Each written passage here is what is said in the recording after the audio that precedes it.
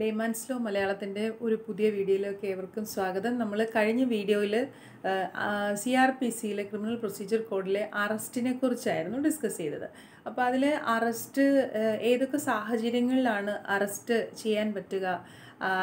എന്താണ് അറസ്റ്റ് കൊണ്ട് ഉദ്ദേശിക്കുന്നത്? ഇതൊക്കെയാണ് നമ്മൾ പറഞ്ഞത്. അതുപോലെ തന്നെ കാറ്റഗറി ഓഫ് അറസ്റ്റ് ഇതൊക്കെ പറഞ്ഞിരുന്നു. സോ ഈ ഈ വീഡിയോ നിങ്ങൾ കാണുന്നതിന് മുൻപായിട്ട് ആ, ഒരു ഫസ്റ്റ് വീഡിയോ കണ്ടതിന് ശേഷം കാണുകയാണെങ്കിൽ കുറച്ചും കൂടി നിങ്ങൾക്ക് കാര്യങ്ങൾ മനസ്സിലാകും. സോ അതിന്റെ ലിങ്ക് ഞാൻ ഈ ഒരു ഡിസ്ക്രിപ്ഷൻ ബോക്സിൽ ഇടുന്നതായിരിക്കും. സോ ഇന്ന് നമ്മൾ പറയുന്നത് അറസ്റ്റിൽ തന്നെ ഒരാളെ അറസ്റ്റ് ചെയ്യുന്നതിന് തൊട്ട് മുൻപായിട്ടുള്ള പ്രൊസീജിയറുകളെ കുറിച്ചാണ് അല്ലെങ്കിൽ അറസ്റ്റ് ചെയ്യുമ്പോൾ എങ്ങനെയാണ് ഒരു അറസ്റ്റ് നടക്കേണ്ടത്? ഹൗ ഒരു അറസ്റ്റ് എങ്ങനെയാണ് ചെയ്യേണ്ടത്? സോ അറസ്റ്റ് എങ്ങനെ ചെയ്യാം എന്നുള്ളതിനെക്കുറിച്ചാണ് നമ്മൾ പറയുന്നത്. ഇവിടെ അറസ്റ്റ് നമ്മൾക്കറിയാം വിത്ത് വാറന്റ് ഉണ്ട് വിത്തൗട്ട് വാറന്റ് ഉണ്ട്. ഏഹ് ഇനി പോലീസ് ഓഫീസർക്ക് അറസ്റ്റ് ചെയ്യാം ഒരു മജിസ്ട്രേറ്റിനെ അറസ്റ്റ് ചെയ്യാം ഒരു പ്രൈവറ്റ് പേഴ്സൺ അറസ്റ്റ് ചെയ്യാം ഇതൊക്കെ നമ്മൾക്ക് അറിയാവുന്ന കാര്യങ്ങളാണ്. നമ്മൾ ചർച്ച ചെയ്തിട്ടുള്ള കാര്യങ്ങളാണ്. ഇനി ഇവിടെ ഒരു പോലീസ് ഓഫീസർ ഒരു അറസ്റ്റ് രേഖപ്പെടുത്തുവാനായിട്ട് അല്ലെങ്കിൽ ഒരു ഒരു വ്യക്തിയെ അറസ്റ്റ് ചെയ്യാൻ പോകുമ്പോൾ പോലീസിന് ചില തയ്യാറെടുപ്പുകളൊക്കെ ഉണ്ട്. അതായത് നിങ്ങൾ അറസ്റ്റ് ചെയ്യാൻ പോകുന്നത് ഒരു ഒരു ഒരു ഒഫൻസ് കമ്മിറ്റ് ചെയ്ത വ്യക്തിയാണ്. അയാളുടെ സ്വഭാവം എന്താണെന്നോ അയാൾ എങ്ങനെ പ്രതികരിക്കുന്ന ആളാണെന്നോ അല്ലെങ്കിൽ അയാൾ ഓടിപ്പോകാൻ സാധ്യതയുണ്ടോ ഇതൊന്നും തന്നെ നിങ്ങൾക്കറിയില്ല. പക്ഷേ എപ്പോഴും പോലീസ് എങ്ങനെയായിരിക്കണം വളരെ വിജിലന്റ് ആയിരിക്കണം. അപ്പോൾ ഇതെല്ലാം തന്നെ നിങ്ങളുടെ കീപ്പ് ഇൻ മൈൻഡ് നിങ്ങൾ അറസ്റ്റ് ചെയ്യാൻ പോകുന്നതിന് മുൻപായിട്ട് നിങ്ങളുടെ മൈൻഡിൽ ഒരു പിക്ചർ ക്രിയേറ്റ് ചെയ്തിട്ട് വേണം ആസ് എ പോലീസ് ഓഫീസർ നിങ്ങൾ എന്ത് ചെയ്യാൻ അറസ്റ്റ് ചെയ്യുവാനായിട്ട് പോകുവാൻ. സോ ഇവിടെ നമ്മൾ അറസ്റ്റ് ചെയ്യാൻ പോകുന്ന ഒരു പോലീസ് ഓഫീസർ എപ്പോഴും അയാളുടെ ക്ലിയർ ഐഡന്റിഫിക്കേഷൻ അയാളുടെ അയാൾ ഏത് പൊസിഷനിലിരിക്കുന്ന വ്യക്തിയാണ് ഇപ്പോൾ എസ് ഐ ആകട്ടെ സർക്കിൾ ഇൻസ്പെക്ടർ ആകട്ടെ അല്ലെങ്കിൽ മറ്റ് ഏതെങ്കിലും ഹയർ ഒഫീഷ്യൽ ആകട്ടെ ആരാണെങ്കിലും നിങ്ങളുടെ ക്ലിയർ ഐഡന്റിഫിക്കേഷൻ കൃത്യമായി കാണത്തക്ക രീതിയിൽ നിങ്ങൾ എന്ത് ചെയ്തിരിക്കണം? ധരിച്ചിരിക്കണം. അപ്പം നമ്മൾ കാണുമല്ലോ പോലീസുകാർ അവരുടെ പേര് അവരുടെ പൊസിഷൻ എന്താണെന്നുള്ളത് നമുക്ക് കാണാൻ പറ്റും. ഒരു സാധാരണക്കാരന് പോലീസ് അടുത്ത് വരുമ്പോൾ തന്നെ അവരുടെ പേര് അവരിപ്പോൾ എസ് ഐ ആണോ അതോ സർക്കിളാണോ അതോ അതിലും താഴെയുള്ള ഏതെങ്കിലും ജോബിലിരിക്കുന്ന ആളാണോ അതിന് മുൻപിൽ മുൻപ് ഇപ്പോൾ ഡ്രൈവറാണോ ഇതൊക്കെ തന്നെ അവരുടെ ഐഡന്റിഫിക്കേഷൻ ഒരു ഒരു പ്ലേറ്റ് ആ ഒരു ഇതിൽ നിന്നും മാർക്കിൽ നിന്നും നമുക്ക് മനസ്സിലാക്കാൻ പറ്റും. ഇവിടെയും ആദ്യം ചെയ്യേണ്ടത് അത് തന്നെയാണ്. ഒരു അറസ്റ്റ് ചെയ്യുവാനായി പോകുന്ന പോലീസ് ഓഫീസർ എപ്പോഴും അദ്ദേഹത്തിന്റെ ക്ലിയർ ഐഡന്റിഫിക്കേഷൻ എന്ത് ചെയ്തിരിക്കണം? വളരെ വിസിബിൾ ആയിട്ടുള്ള രീതിയിൽ അയാൾ ബെയർ ചെയ്തിരിക്കണം ധരിച്ചിരിക്കണം.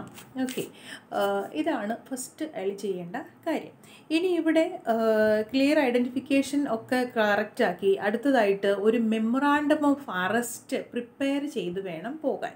അല്ലെങ്കിൽ അയാൾ എന്ത് ചെയ്യണം? അത് പ്രിപ്പയർ ആ ഒരു സീൻ ഓഫ് ഒക്കറൻസിൽ അല്ലെങ്കിൽ അയാൾ അറസ്റ്റ് ചെയ്യുന്ന ഒരു പ്ലേസിൽ ഇപ്പോൾ ഒരു വ്യക്തിയെ അറസ്റ്റ് ചെയ്യുന്ന പ്ലേസിൽ നിന്നുകൊണ്ട് തന്നെ ഒരു മെമ്മറാണ്ടം ഓഫ് അറസ്റ്റ് തയ്യാറാക്കണം. എന്താണ് ഈ മെമ്മറാണ്ടം ഓഫ് അറസ്റ്റ് എന്ന് പറയുന്നത്? മെമ്മറാണ്ടം ഓഫ് അറസ്റ്റ് എന്ന് പറഞ്ഞു കഴിഞ്ഞാൽ ഇത്രയേ ഉള്ളൂ. ആരെയാണ് നിങ്ങൾ അറസ്റ്റ് ചെയ്തിരിക്കുന്നത്? അദ്ദേഹത്തിന്റെ പേര് വിവരങ്ങൾ എന്താണ്? അഡ്രസ്സ് എന്താണ്? ഇനി അതിൽ ഒരു സാക്ഷി ഉണ്ടായിരിക്കണം. ഒരു വിറ്റ്നസ് ഉണ്ടായിരിക്കണം. ആ വിറ്റ്നസ് എന്ന് പറയുന്ന വ്യക്തി ഒന്നുകിൽ ഒരു near relative of the accused person ആകണം. അല്ല ഇനിയിപ്പോൾ നിയർ റിലേറ്റീവ് ഒന്നും അല്ല എങ്കിൽ വളരെ റെസ്പെക്റ്റബിൾ ആയിട്ടുള്ള ഒരു പൊസിഷൻ സൊസൈറ്റിയിൽ ഹോൾഡ് ചെയ്യുന്ന ഒരു വ്യക്തിയായിരിക്കണം. റിമെമ്പർ ആര ആരെയൊക്കെയാണ് നമ്മൾ ആ ഒരു മെമ്മറാണ്ടം ഓഫ് അറസ്റ്റിൽ സാക്ഷിയായിട്ട് വെക്കാൻ വെക്കേണ്ടത്? ഒന്ന് ഒരു relative of the arrested person ആ അറസ്റ്റഡ് പേഴ്സന്റെ ഏതെങ്കിലും ഒരു റിലേറ്റീവ് ഇനി റിലേറ്റീവ് ഒന്നുമില്ല. അങ്ങനെ ഒരു സാഹചര്യത്തിലല്ല അറസ്റ്റ് ചെയ്തിരിക്കുന്നതെങ്കിൽ ആ ലൊക്കാലിറ്റിയിൽ വളരെ റെസ്പെക്റ്റബിൾ ആയിട്ടുള്ള ഒരു പൊസിഷൻ ഹോൾഡ് ചെയ്യുന്ന ഒരു വ്യക്തിയായിരിക്കണം നിങ്ങളതിൽ സാക്ഷിയായിട്ട് എഴുതി ചേർക്കേണ്ടത്. ഇപ്പോൾ ഫോർ എക്സാമ്പിൾ ഇപ്പോൾ പഞ്ചായത്ത് ഒരു ഒരു വാർഡിലാണ് നടന്നതെങ്കിൽ ആ വാർഡിന്റെ കൗൺസിലർ ഒരു റെസ്പെക്റ്റബിൾ പൊസിഷൻ ഹോൾഡ് ചെയ്യുന്ന വ്യക്തിയാണ്. ഇനി അവിടെ അതല്ല അവിടെ ഒരു അധ്യാപികയാണ് ഒരു അധ്യാപകനാണുള്ളതെങ്കിൽ അദ്ദേഹം ഒരു റെസ്പെക്റ്റബിൾ പൊസിഷൻ ഹോൾഡ് ചെയ്യുന്ന ആളാണ്. ഇനി ഒരു ഡോക്ടറാണെങ്കിൽ അപ്പോൾ ആ ഒരു സൊസൈ ഇനിയിപ്പോൾ ഡോക്ടർ ആയാലും അധ്യാപകരായാലും സമൂഹത്തിൽ അത്ര വിലയും നിലയൊന്നും ഇല്ലാത്ത വ്യക്തികളാണെങ്കിൽ നമ്മൾ അവരെ എന്ത് ചെയ്യില്ല റെസ്പെക്റ്റബിൾ പേഴ്സൺ എന്ന് പറയുന്ന ഒരു പൊസിഷനിലേക്ക് ഇടില്ല. അപ്പോൾ പോലീസ് എപ്പോഴും ആ നിങ്ങൾ ആ ഒരു വിറ്റ്നസ് ആയിട്ട് സാക്ഷിയായിട്ട് എഴുതി ചേർക്കുന്ന ആൾ ആൾ അതിന് പറ്റിയ ആളാണോ എന്നുള്ളതും കൂടി ഒന്ന് വിലയിരുത്തണം. ഓക്കെ അപ്പോൾ അതാണ് ഈ മെമ്മോറാണ്ടം ഓഫ് അറസ്റ്റിൽ നമ്മൾ രേഖപ്പെടുത്തേണ്ട കാര്യങ്ങൾ. ഇനിയും ഇവിടെ ഈ മെമ്മോറാണ്ടം ഓഫ് അറസ്റ്റ് എപ്പോഴും അക്യൂസ്ഡ് പേഴ്സണെ കൊണ്ട് അല്ലെങ്കിൽ ഈ അറസ്റ്റഡ് പേഴ്സണെ കൊണ്ട് നമ്മൾ ആരെയാണോ അറസ്റ്റ് ചെയ്തിരിക്കുന്നത്? ആ വ്യക്തിയെ കൊണ്ട് എന്ത് ചെയ്ത് എന്ത് ചെയ്യണം? Counter sign ചെയ്യിക്കണം. അവർ അവരുടെ സൈനും അതിൽ ആവശ്യമാണ്. ഇനി ഈ ഒരു മെമ്മറാണ്ടം ഓഫ് അറസ്റ്റിൽ ഈ അറസ്റ്റ് ചെയ്യപ്പെട്ട വ്യക്തിയുടെ ഫാമിലി മെമ്പറിന്റെ സിഗ്നേച്ചറൊന്നും ഇല്ലെങ്കിൽ പോലീസിനൊരു വലിയ ജോലി അവിടെ ഉണ്ട് എന്താണെന്ന് വെച്ചാൽ പോലീസ് ഈ അറസ്റ്റ് ചെയ്യ ചെയ്ത വ്യക്തിയോട് അദ്ദേഹത്തിനുള്ള റൈറ്റുകളെക്കുറിച്ച് വളരെ കൃത്യമായി പറഞ്ഞു കൊടുക്കണം. ഇപ്പം ഫോർ എക്സാമ്പിൾ നിങ്ങൾ അറസ്റ്റ് ചെയ്തിരിക്കുന്നത് ഒരു ബെയിലബിൾ ഒഫൻസിലാണെങ്കിൽ നിങ്ങളെ അറസ്റ്റ് ചെയ്തിരിക്കുന്നപ്പോൾ ഒരു ബെയിലബിൾ ഒഫൻസ് ആണെങ്കിൽ ഇതൊരു നിങ്ങൾ കമ്മിറ്റ് ചെയ്തിരിക്കുന്നത് ഒരു ബെയിലബിൾ ഒഫൻസ് ആണ്. നിങ്ങൾക്ക് റെഗുലർ കോർട്ടിൽ നിന്നും ബെയിൽ കിട്ടും. അപ്പോൾ നിങ്ങൾ അപ്ലൈ ചെയ്ത് കഴിഞ്ഞാൽ നിങ്ങളുടെ ഒരു ലോയർ വഴി നിങ്ങൾ അപ്ലൈ ചെയ്താൽ ബെയിലിന് അപ്ലൈ ചെയ്താൽ ജാമ്യത്തിന് അപ്ലൈ ചെയ്താൽ നിങ്ങൾക്ക് ജാമ്യം ലഭിക്കുന്ന ഒരു ഒഫൻസാണ് നിങ്ങൾ കമ്മിറ്റ് ചെയ്തിരിക്കുന്നത് എന്ന് കൃത്യമായി പോലീസ് ഓഫീസർ എന്ത് ആരോ ആർക്ക് പറഞ്ഞു കൊടുക്കണം? നമ്മളുടെ ഈ അറസ്റ്റഡ് പേഴ്സണ് പറഞ്ഞു കൊടുക്കണം. ഇപ്പം നമ്മൾ നിങ്ങൾ ചിന്തിക്കുന്നുണ്ടാകും പോലീസിന്റെ ഒരു ഗതികേടെ. കാരണം അറസ്റ്റ് ചെയ്യുകയും വേണം അവൻ പുറത്തിറങ്ങാനുള്ള വഴി പറഞ്ഞു കൊടുക്കുകയും വേണം. വേണം കൃത്യമായി പറയണം. വൈ ബിക്കോസ് നമ്മളുടെ സിസ്റ്റം എന്ന് പറയുന്നത് അക്യുസിറ്റോറിയൽ സിസ്റ്റമാണ് കാരണം ഇവിടെ അക്യൂസ്ഡിന് ഒരുപാട് റൈറ്റുകൾ ഉള്ള ഒരു സിസ്റ്റമാണ് നമ്മൾ ഫോളോ ചെയ്യുന്നത്.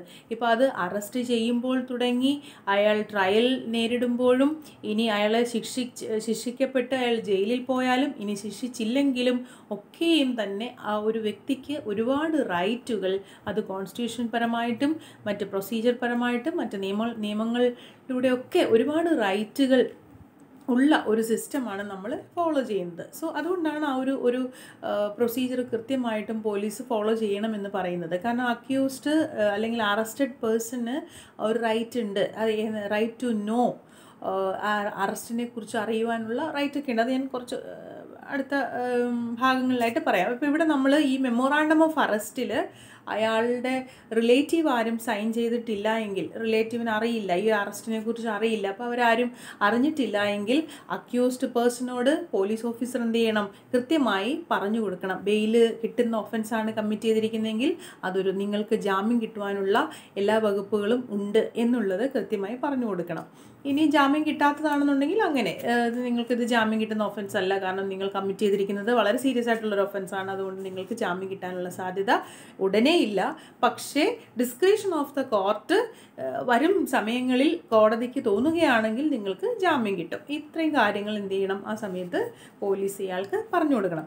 ഇനി ഇവിടെ അറസ്റ്റ് ചെയ്യുമ്പോൾ ലോ പറയുന്നത് നിങ്ങൾ അറസ്റ്റഡ് പേഴ്സണെ നിങ്ങൾ അറസ്റ്റ് ചെയ്യാൻ വന്നിരിക്കുന്ന വ്യക്തിയെ ഒന്നുകിൽ ടച്ച് ചെയ്യുക ടച്ച് ചെയ്ത് അറസ്റ്റ് നിങ്ങളെ അറസ്റ്റ് ചെയ്തിരിക്കുന്നു എന്ന് പറയണം. അതല്ല എങ്കിൽ നിങ്ങളൊരു ക്ലോസ് കോണ്ടാക്റ്റിൽ നിന്നുകൊണ്ട് കൃത്യമായി നിങ്ങളെ അറസ്റ്റ് ചെയ്തിരിക്കുന്നു എന്ന് ഓറലായിട്ട് പറയണം. രണ്ട് കാര്യങ്ങൾ മനസ്സിലായല്ലോ? ഒന്ന് ടച്ച് ചെയ്തിട്ട് യു ആർ അണ്ടർ അറസ്റ്റ് എന്ന് പറയാം. രണ്ട് നിങ്ങൾ ടച്ച് ചെയ്യാതെ ക്ലോസ് കോണ്ടാക്റ്റിൽ നിന്നുകൊണ്ട് നേർക്ക് നേരെ നിന്ന് എന്ത് ചെയ്യുന്നു? നമ്മൾ കമ്മ്യൂണിക്കേറ്റ് ചെയ്യുന്നു. നിങ്ങളെ ഞങ്ങൾ അറസ്റ്റ് ചെയ്തിരിക്കുന്നു. നിങ്ങൾ കമ്മിറ്റ് ചെയ്തിട്ടുള്ള ഒഫൻസുകൾ ഇതാണ്. അല്ലെങ്കിൽ നിങ്ങൾ റീസണബിൾ ആയിട്ടുള്ള ഒരു സസ്പീഷ്യസ് ആയിട്ടുള്ള ഒരു സിറ്റുവേഷനിൽ നിങ്ങളെ കണ്ടതുകൊണ്ട് ഞങ്ങൾ അറസ്റ്റ് ചെയ്യുന്നു. നമ്മൾ നേരത്തെ പറഞ്ഞല്ലോ ഏതൊക്കെ രീതിയിൽ അറസ്റ്റ് ചെയ്യാമെന്നുള്ളത് നമ്മൾ കഴിഞ്ഞ വീഡിയോയിൽ ചർച്ച ചെയ്തതാണ്. സോ ഇവിടെ മറ്റൊരു കാര്യം പ്രൊസീജിയർ സി ആർ പി സിയിൽ പറയുന്നത് നിങ്ങൾ ഇങ്ങനെ പറയുന്ന ഒരു അറസ്റ്റിനെ കുറിച്ച് പറയുന്നത് ഒരിക്കലും ഒരു എവിടെങ്കിലും ഇരുന്നു കൊണ്ട് ഒരു ഓറൽ ഒരു കോൺവെർസേഷൻ നടത്തിയാൽ പോരാ. ഇപ്പം പോലീസ് പോലീസ് സ്റ്റേഷനിൽ ഇരുന്നു കൊണ്ട് ഫോൺ വിളിച്ചിട്ട് പ്രതിയെന്ന് സംശയിക്കപ്പെടുന്ന വ്യക്തിയോട് പറയുകയാണ് നിന്നെ ഞങ്ങൾ അറസ്റ്റ് ചെയ്തിരിക്കുന്നു. വേഗം നീ പോലീസ് സ്റ്റേഷനിലേക്ക് വാ. എന്ന് പറയുന്നത് അറസ്റ്റല്ല അത് അറസ്റ്റായിട്ട് എടുക്കാൻ പറ്റില്ല. പക്ഷേ ഈ അറസ്റ്റഡ് പേഴ്സൺ അറസ്റ്റ് ചെയ്യാൻ നിങ്ങൾ ആരെയാണോ ഉദ്ദേശിച്ച് ചെന്നിരിക്കുന്നത് ആ വ്യക്തിയുമായി ക്ലോസ് കോണ്ടാക്റ്റിൽ നിന്നുകൊണ്ട് ഫേസ് ടു ഫേസ് നിന്നുകൊണ്ട് പറയുകയാണ് നിന്നെ അറസ്റ്റ് ചെയ്തിരിക്കുന്നു എന്ന് പറഞ്ഞു കഴിഞ്ഞാൽ അത് അറസ്റ്റാണ്. ഓക്കെ. ഇനി ഇവിടെ ഒരു സ്ത്രീയാണ് ഒഫൻസ് കമ്മിറ്റ് ചെയ്തിട്ട് അല്ലെങ്കിൽ സംശയാസ്പദമായ സാഹചര്യത്തിൽ അറസ്റ്റ് ചെയ്യപ്പെടേണ്ടതായിട്ട് വരുന്നത് ഒരു സ്ത്രീയാണെങ്കിൽ അവിടെ ഒരു എന്താണ് ഒരു വനിതാ പോലീസ് മസ്റ്റായിട്ടും ഈ ഒരു പോലീസ് ഫോഴ്സിനെ അക്കമ്പനി ചെയ്തിരിക്കണം. അത് പ്രൊസീജിയറാണ്. കാരണം ഒരു വനിത വനിതയെ അറസ്റ്റ് ചെയ്യേണ്ടത് ഒരു വനിതാ പോലീസ് ആയിരിക്കണം ഇനി വനിതാ പോലീസ് ആ ഒരു സാഹചര്യത്തിൽ അറസ്റ്റ് ചെയ്യുവാനായിട്ട് ഇല്ല എന്ന് വിചാരിക്കുക. അവിടെ മെയിൽ പോലീസ് ഓഫീസർ സ്ത്രീയെ ടച്ച് ചെയ്യാൻ പാടില്ല. സ്ത്രീയുടെ പേഴ്സൺ അതായത് ആ സ്ത്രീയുടെ ബോഡിയിൽ ടച്ച് ചെയ്യാൻ പാടില്ല. ജസ്റ്റ് അവരുടെ ഒരു കോണ്ടാക്റ്റിൽ ഒരു ക്ലോസ് കോണ്ടാക്റ്റിൽ വന്നിട്ട് നിങ്ങളെ അറസ്റ്റ് ചെയ്യുന്നു എന്ന് പറഞ്ഞാൽ മാത്രം മതി. ഹോപ്പ് യു അണ്ടർസ്റ്റാൻഡ് അതായത് ഒരു വനിതയെ അറസ്റ്റ് ചെയ്യുമ്പോൾ ഒരു സ്ത്രീയെ അറസ്റ്റ് ചെയ്യ ചെയ്യേണ്ട സാഹചര്യത്തിൽ ഒരു വനിതാ പോലീസ് ഓഫീസർ ഒരു ഒരു ലേഡി പോലീസ് ഓഫീസർ മസ്റ്റായിട്ടും അക്കമ്പനി ചെയ്തിരിക്കണം. പോലീസ് ഫോഴ്സിനെ അക്കമ്പനി ചെയ്തിരിക്കണം. ഇനി ചില സാഹചര്യങ്ങളിൽ സ്ത്രീ ആയിട്ടുള്ള അല്ലെങ്കിൽ വനിതാ പോലീസ് ഇല്ല എന്ന് വിചാരിക്കുക. അവിടെ നമ്മൾ നേരത്തെ പറഞ്ഞ ടച്ച് ചെയ്തിട്ട് യു ആർ അണ്ടർ അറസ്റ്റ് എന്ന് പോലീസ് മെയിൽ പോലീസ് പറയാൻ പാടില്ല. അവിടെ സ്ത്രീയെ ടച്ച് ചെയ്യാൻ പാടില്ല. ഇപ്പോൾ അറസ്റ്റഡ് പേഴ്സൺ ഒരു സ്ത്രീ ആണെങ്കിൽ അവരെ നിങ്ങൾ ടച്ച് ചെയ്യാൻ പാടില്ല. പകരം അവരുമായിട്ട് ക്ലോസ് ഒരു കോണ്ടാക്റ്റിൽ ഒരു ഫേസ് ടു ഫേസ് കോണ്ടാക്റ്റിൽ വന്നിട്ട് നിങ്ങളെ ഈ ഒരു ഒഫൻസിൽ നിങ്ങൾ ഈ ഒരു സാഹചര്യത്തിൽ നിങ്ങളെ അറസ്റ്റ് ചെയ്യുന്നു എന്ന് കമ്മ്യൂണിക്കേറ്റ് ചെയ്താൽ മതി.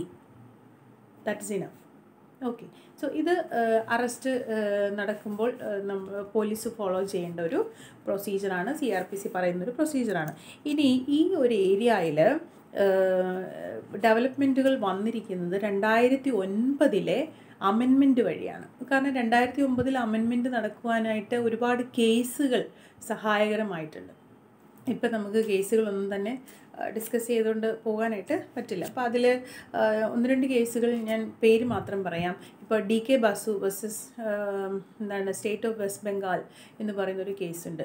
അതുപോലെ ജോഗീന്ദർ കുമാർ എന്റെ ഒരു കേസുണ്ട്. അപ്പോൾ ഇങ്ങനെയുള്ള രണ്ട് മൂന്ന് കേസുകൾ വഴിയാണ് ഒരു അറസ്റ്റിൽ കുറേയധികം പ്രൊസീജിയറൽ കൃത്യമായ ഒരു പ്രൊസീജിയറൽ ഫോർമാലിറ്റിയൊക്കെ കോഡ് കൊണ്ടുവന്നിരിക്കുന്നത് സി ആർ പി സി കൊണ്ടുവന്നിരിക്കുന്നത്. അതിൽ അതാണ് ഈ രണ്ടായിരത്തി ഒമ്പതിലൊക്കെ അമെൻമെന്റുകൾ വന്നിരിക്കുന്നതിന്റെയൊക്കെ കാരണങ്ങൾ. ഓക്കെ ഇനി ഇവിടെ നമ്മൾ മനസ്സിലാക്കേണ്ടത് ഇപ്പോൾ എന്താണ് ഒരു അറസ്റ്റ് എഫക്റ്റ് ആക്കാൻ വേണ്ടിയിട്ട് പോലീസിന് ചില പവറുകൾ ഉപയോഗിക്കാൻ പറ്റും. ചില പവേഴ്സ് ഇപ്പം ഒരാളെ അറസ്റ്റ് ചെയ്യുക എന്ന് പറയുന്നത് അത്ര സിമ്പിളായിട്ടുള്ള കാര്യമല്ല. ഒരാളെ അറസ്റ്റ് ചെയ്യുക എന്ന് പറയുന്നത് പോലീസിനെ സംബന്ധിച്ച് വളരെ ശ്രമകരമായിട്ടുള്ളൊരു കാര്യമാണ്. സോ ആ ഒരു പ്രോസസ്സിലൂടെ പോകുമ്പോൾ പോലീസിന് ചില പവറുകൾ കോഡ് നൽകുന്നുണ്ട്. I mean C R P C കൊടുക്കുന്നുണ്ട്. അപ്പോൾ അതെന്തൊക്കെയാണെന്നാണ് നമ്മളിന്ന് ഇതിന്റെ കൂടെ തന്നെ നോക്കി പോകുന്നത് സോ ഇത് ഇവിടെ ഫസ്റ്റ് പവറായിട്ട് പറയുന്നത് പവർ ടു യൂസ് ഫോഴ്സ് നിങ്ങൾക്ക് ഒരാളെ അറസ്റ്റ് ചെയ്യാൻ ഫോഴ്സ് ഉപയോഗിക്കാം. അപ്പോൾ ഫോഴ്സ് ഉപയോഗിക്കുക എന്ന് പറഞ്ഞു കഴിഞ്ഞാൽ ഒരു പ്രകോപനവും ഇല്ലാതെ നിൽക്കുന്ന ഒരാളിന്റെ മേലെ കയറി നിങ്ങൾക്ക് ഫോഴ്സ് ഉപയോഗിക്കേണ്ട കാര്യമില്ല. യു ആർ അണ്ടർ അറസ്റ്റ് എന്ന് പറഞ്ഞപ്പോൾ ശരി സർ ഞാൻ വരാം എന്ന് പറഞ്ഞ് തയ്യാറായി നിൽക്കുന്ന ഒരു വ്യക്തിയാണെങ്കിൽ അവരെ കയറി നിങ്ങൾ ഒരുപാട് ഫോഴ്സ് ഉപയോഗിക്കേണ്ട കാര്യം ഇല്ല. അപ്പോൾ എവിടെയാണ് ഈ ഫോഴ്സ് ഉപയോഗിക്കേണ്ടതായി വരിക? ഓടിപ്പോകാൻ സാധ്യതയുള്ള ഒരു സാധ്യതയുണ്ടെന്ന് തോന്നുന്ന ഒരു വ്യക്തി അല്ലെങ്കിൽ ഒരു അക്യൂസ്ഡ് അല്ലെങ്കിൽ പോലീസിനെ തിരിഞ്ഞ് ആക്രമിക്കുന്ന തരത്തിൽ നിൽക്കുന്ന ഒരു അക്യൂസ്ഡ് അല്ലെങ്കിൽ മറ്റ് എന്താണ് ഒരു മെന്റലി ഇൽനെസ് ഉള്ള ആളിനെ പോലെ പെരുമാറി നിൽക്കുന്ന രക്ഷപ്പെടാൻ വേണ്ടി കാണിക്കുന്ന എന്തെങ്കിലുമൊക്കെ ആയിരിക്കും.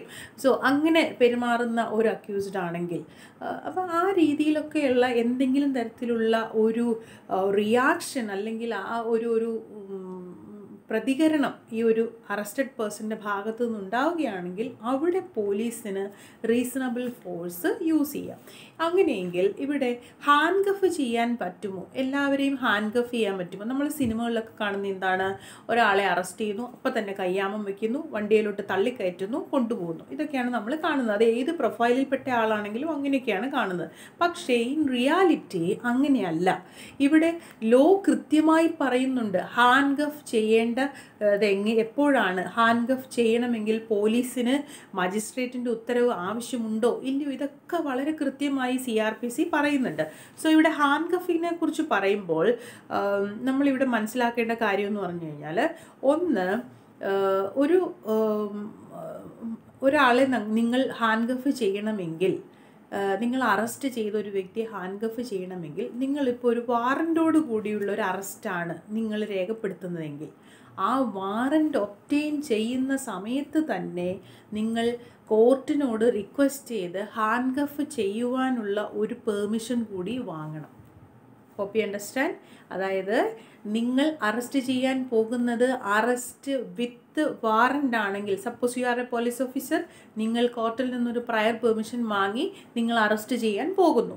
നിങ്ങൾ അങ്ങനെ അറസ്റ്റ് ചെയ്യാൻ പോകുമ്പോൾ ഹാൻഡ് കഫ് ചെയ്യേണ്ടതായിട്ട് വരും എന്നുള്ളൊരു സാഹചര്യം നിങ്ങൾക്ക് ഫോർസി ചെയ്യാൻ കഴിയുന്നുവെങ്കിൽ ആ വാറന്റിൽ തന്നെ പെർമിഷൻ ആരുടെ കയ്യിൽ നിന്ന് വാങ്ങണം? മജിസ്ട്രേറ്റിന്റെ കയ്യിൽ നിന്ന് നിങ്ങൾ ആ ഒരു പെർമിഷൻ ഹാൻഡ് കഫ് ചെയ്യാനുള്ള പെർമിഷൻ കൂടി വാങ്ങണം. ഇനി അറസ്റ്റ് വിത്തൗട്ട് വാറന്റാണ് നിങ്ങൾ അറസ്റ്റ് ചെയ്യാൻ പോകുന്നത്. അപ്പോൾ നിങ്ങൾക്ക് മനസ്സിലായി ഒഫൻസിന്റെ നേച്ചർ എന്ന് പറയുന്നത് വളരെ സീരിയസ് ആണ്. അപ്പോൾ ഗ്രാവിറ്റി കൂടിയ ഒഫൻസാണ് കമ്മിറ്റ് ചെയ്തിരിക്കുന്നത്. അവിടെ നിങ്ങൾക്ക് ഒരാളെ അറസ്റ്റ് ചെയ്യണമെങ്കിൽ ആ അറസ്റ്റ് എഫക്റ്റ് ആക്കണമെങ്കിൽ ഫോഴ്സ് ഉപയോഗിക്കേണ്ടി വരുന്നതായ ഒരു സാഹചര്യം വന്നു കഴിഞ്ഞാൽ നിങ്ങൾക്ക് എന്ത് ചെയ്യാം? ഹാൻഡ് ഗഫ് ചെയ്യാം പക്ഷേ ഒരു കാര്യമുണ്ട്. എന്തുകൊണ്ട് ഹാൻഡ് ഗഫ് ചെയ്തു എന്നുള്ളത് നിങ്ങൾ കോർട്ടിനോട് എക്സ്പ്ലെയിൻ ചെയ്യണം. കാരണം ആ ഒരു സാഹചര്യം എന്ത് ചെയ്യണം? എക്സ്പ്ലെയിൻ ചെയ്യണം. ഇനി നിങ്ങൾ ഹാൻഡ് കഫ് ഒന്നും ചെയ്തില്ല കോർട്ടിൽ കൊണ്ടുവന്നു. പക്ഷെ കോടതിയിൽ കൊണ്ടുവന്ന് കഴിഞ്ഞതിന് ശേഷം നിങ്ങൾക്ക് തോന്നുകയാണ് ഇയാൾ ചാടി പോകാനുള്ള സാധ്യതയൊക്കെ ഉണ്ടെങ്കിൽ അവിടെ കോർട്ടിന്റെ മുന്നിൽ പ്രൊഡ്യൂസ് ചെയ്തതിന് ശേഷം കോർട്ടിനോട് പെർമിഷൻ വാങ്ങണം. ഇയാളെ ഹാൻഡ് കഫ് ചെയ്യുന്നതിനുള്ള പെർമിഷൻ സീക്ക് ചെയ്യണം. പോലീസ് ഓഫീസർ സീക്ക് ചെയ്യണം.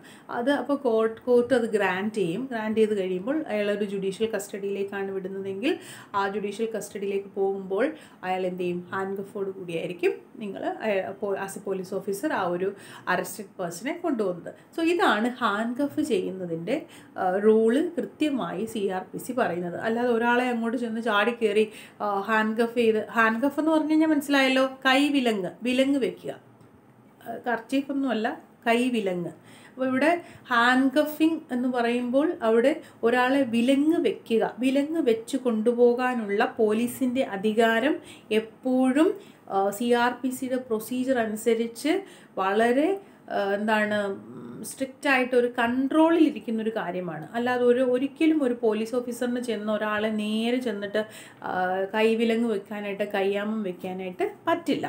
സോ ഇതാണ് നമ്മൾ മനസ്സിലാക്കേണ്ടത്. കാരണം ജനറൽ പബ്ലിക്കിന്റെ ഒരു ഇമ്പ്രഷൻ എന്ന് പറയുന്നത് ഒരാളെ അറസ്റ്റ് ചെയ്താൽ ഉടനെ തന്നെ എന്ത് ചെയ്യണം? കയ്യാമം വെക്കണം. ആ രീതിയിലുള്ളൊരു ഇമ്പ്രഷനാണ് ഉള്ളത്. ഇനി അടുത്തതെന്ന് വെച്ച് കഴിഞ്ഞാൽ അടുത്ത കുറച്ച് പവർ എന്ന് പറഞ്ഞു കഴിഞ്ഞാൽ നിങ്ങൾ അറസ്റ്റ് ചെയ്യുന്ന സമയത്ത് തന്നെ നിങ്ങൾക്ക് ആ പ്ലേസ് സെർച്ച് ചെയ്യാൻ നിങ്ങളുടെ കയ്യിൽ സെർച്ച് വാറന്റ് ഉണ്ടെങ്കിൽ നിങ്ങൾക്ക് എന്ത് ചെയ്യാം?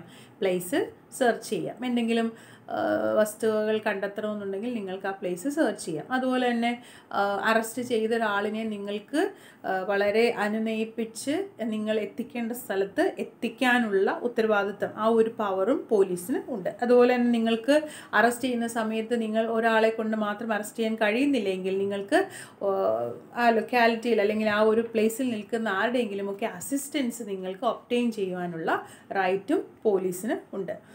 പിന്നെ ഏതെങ്കിലും സബോർഡിനേറ്റ് ഓഫീസേഴ്സിനെ നിങ്ങൾക്ക് എന്ത് ചെയ്യാം? നിങ്ങളുടെ കൂടെ അക്കമ്പനി ചെയ്ത് കൊണ്ടുപോകാനായിട്ടുള്ള അല്ലെങ്കിൽ അവരെ ഒരു ഒരു സബോർഡിനേറ്റ് ഓഫീസറിനെ കൂടി നിങ്ങൾക്ക് ചൂസ് ചെയ്യാനുള്ള ഒരു പവർ കൂടി ഉണ്ട്. അതുപോലെ തന്നെ എസ്കേപ്പ് ചെയ്തൊരു എസ്കേപ്പ് ചെയ്ത് പോയ ഒരു പ്രതിയെ ഒരു അക്യൂസ്ഡിനെ റീ അറസ്റ്റ് ചെയ്യുവാനുള്ള പവറും പോലീസിന് ഉണ്ട്. സോ ഇത്രയും പവറുകളാണ് ഒരു പോലീസ് ഓഫീസർ ഒരു അറസ്റ്റ് മെയ്ഡ് ചെയ്യുമ്പോൾ അല്ലെങ്കിൽ ഒരു അറസ്റ്റ് ചെയ്യുന്ന സമയത്ത് പോലീസിന് ഉപയോഗിക്കാൻ കഴിയുന്ന എക്സ്ക്ലൂസീവ് റൈ പവറുകളായിട്ട് C R P C confer ചെയ്ത് കൊടുത്തിരിക്കുന്ന പവറുകളായിട്ട് പറയുന്നത്. ഓക്കെ. ഇപ്പോൾ ഇത്രയും കാര്യങ്ങൾ മനസ്സിലായിട്ടുണ്ടാകുമെന്ന് വിചാരിക്കുന്നു. ഇനി നമുക്ക് എന്താണ് ആഫ്റ്റർ അറസ്റ്റ് പ്രൊസീജിയറാണ് അത് നമുക്ക് അടുത്തൊരു വീഡിയോയിൽ ഡിസ്കസ് ചെയ്യാം. എല്ലാവർക്കും മനസ്സിലായിട്ടുണ്ടെന്ന് വിചാരിക്കുന്നു. എന്തെങ്കിലും സംശയങ്ങളുണ്ടെങ്കിൽ നിങ്ങൾ കമന്റ് ചെയ്യുക. കമന്റ് കമന്റ് ബോക്സിൽ കമന്റ് ചെയ്യുക. അപ്പോൾ വളരെ ജെനുവിൻ ആയിട്ടുള്ള കമന്റുകൾക്ക് സംശയങ്ങൾക്ക് ഞാൻ കൃത്യമായി മറുപടി നൽകുന്നതായിരിക്കും. താങ്ക്